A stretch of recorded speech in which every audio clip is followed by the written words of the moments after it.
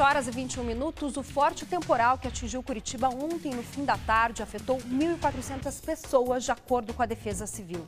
340 casas ficaram destelhadas nos bairros Caximba e no Pinheirinho. A chuva continuou durante a noite e em vários períodos durante o dia. Por toda a cidade, a prefeitura recebeu 52 solicitações de quedas de árvores e galhos que atrapalharam o trânsito.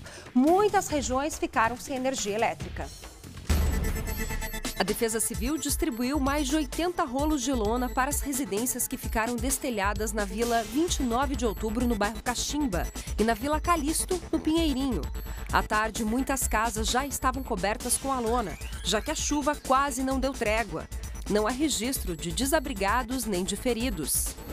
No bairro Santa Cândida, esta árvore caiu e bloqueou a passagem dos carros que passaram a dividir a calçada com os pedestres. Além de interditar a via, a árvore arrebentou os cabos de energia. Perto do terminal, outra árvore caída. No bairro São Lourenço, funcionários de um mercado faziam a limpeza do estacionamento logo cedo. De manhã, ainda havia muito gelo nas calçadas. O temporal de ontem à noite durou menos de 20 minutos e também fez estragos nos bairros Água Verde, Batel e Fazendinha.